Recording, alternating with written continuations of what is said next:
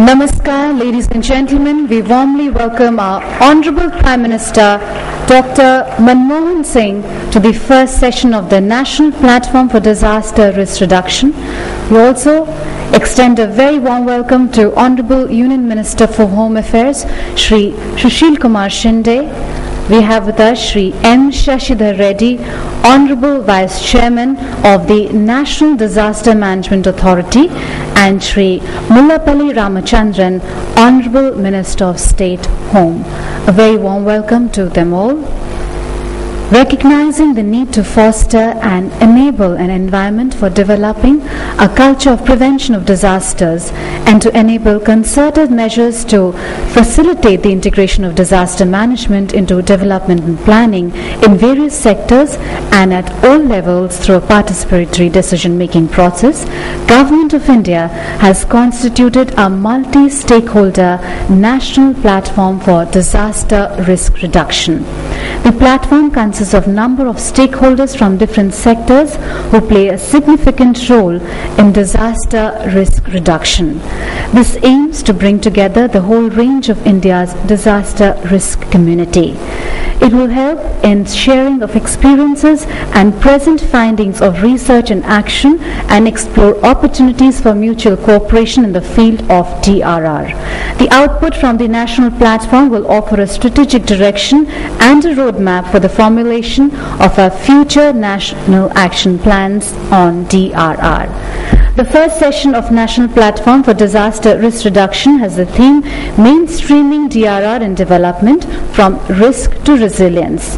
This is being hosted by the Ministry of Home Affairs along with the National Disaster Management Authority and the National Institute of Disaster Management in collaboration with national and international organizations. We hope that this platform, by bringing all stakeholders together, will help in reducing disaster risk of our community, I would like to now invite Honorable Prime Minister Dr. Manmohan Singh to kindly light this ceremonial lamp. May I also request our esteemed dignitaries on the dais to kindly join in.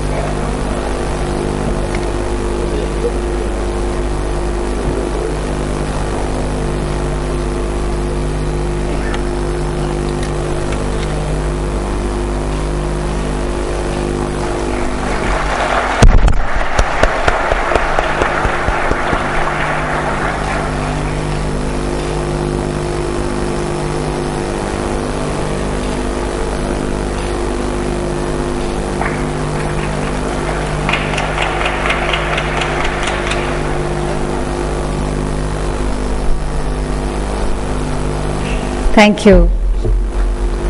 Honorable Prime Minister Dr. Manmohan Singh and esteemed dignitaries on the dais for the lighting of the lamp. Ladies and gentlemen, I would like to now request Shri M. Shashidhar Reddy, who is the Honorable Vice Chairman of NDMA, to kindly make his welcome address.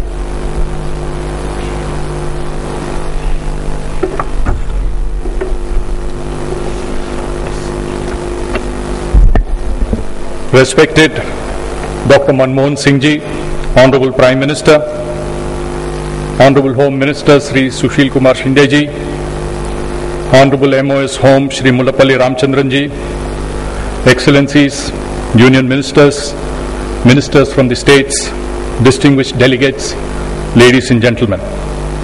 It gives me great pleasure to welcome the Honorable Prime Minister to this very important first session of the National Platform for Disaster Risk Reduction. Sir, your presence today sends the right message to all the stakeholders about the relevance and importance of the NPDRR. I extend a warm welcome to the Honorable Home Minister, the MOS Home. I also extend a warm welcome to all the dignitaries and distinguished participants and representatives of the media. India is vulnerable to different disasters because of its unique geophysical conditions. 5,700 kilometers out of the 7,516 kilometers long coastline is vulnerable to cyclones and tsunamis. 40 million hectares accounting for about 12% of the land to floods. 58.6% of the landmass vulnerable to earthquakes in seismic zones 3, 4 and 5. 68% of cultivable land vulnerable to droughts. We are also vulnerable to emergencies of chemical, biological, radiological, and nuclear origins.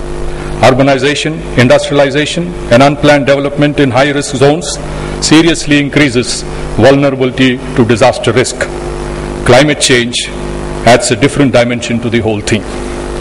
Over the years, India and different countries of the world have experienced devastation from an increasing number of disasters, which can seriously set back painstaking gains of development and threaten life, property, and livelihood of people, particularly the poor.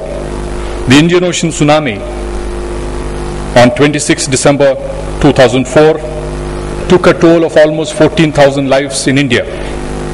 Besides, over 2,30,000 peop- lives in the Indian Ocean countries like Indonesia, Sri Lanka, and Thailand. It left behind a trail of destruction perhaps not witnessed in a long time. The need to reduce the increased impact of disasters gained greater recognition, leading to the commitment worldwide to take newer and definitive initiatives. The World Conference on Disaster Reduction in January 2005 in Hyogo adopted the Hyogo Framework of Action 2005 to 15 with the following priorities of action. Number one, ensure that disaster risk reduction is a national and local priority with a strong institutional basis for implementation.